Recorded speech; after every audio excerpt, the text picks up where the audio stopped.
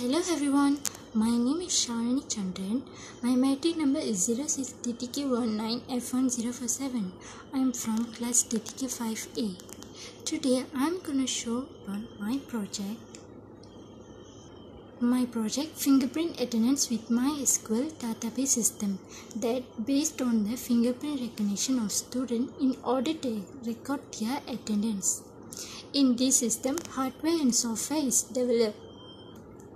The main purpose of carrying out this project is develop a database system which obtain the attendance of students by fingerprint and review the attendance record using my MySQL database system. This is my project hardware.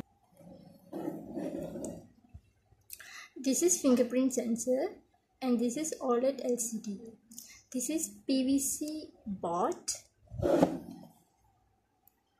this is jumper cables and this is NodeMCU. This is breadboard and I using the power bank as a power supply. I developed this project using the PVC material. The main objectives of this project is to create a fingerprint attendance system that can reduce the time to take the students attendance and to develop a database to save all the data and which can be accessed anytime and also to provide users with an easy way to take the attendance of the students. Now i'm to show my part my project software. This is XAMPP software. We need to start the apache mysql. Then this is my project interfaces. The first is manage users second the user log and also the user's list first the manage user is to save the students information. First hmm, the user need to key in the user's info. First the name and the matric number and also the email address and the timing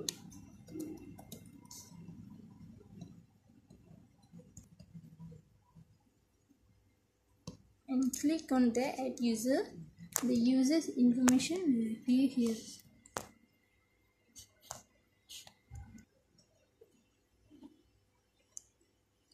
If if the user need to update anything just click on the update user. And if if if need to remove the users any of the user just click on the remove user now the user log is this okay now the user is uh, able to save the users information. All the users are will be safe in this user interface. And this is the user log. The user log is after the students place their fingerprint. Their attendance will be safe in the user log so the lecturers or teachers can access here from the user the students attendance. Uh, lecturers or teachers able to access the students attendance by selecting by the dates and able to export the excel to print the students attendance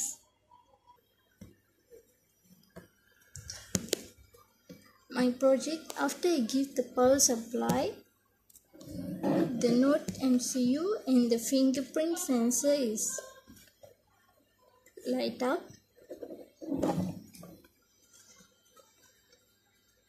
Run this project, the user need to need to enter the fingerprint, the user's fingerprint in the manage user, and after place their fingerprint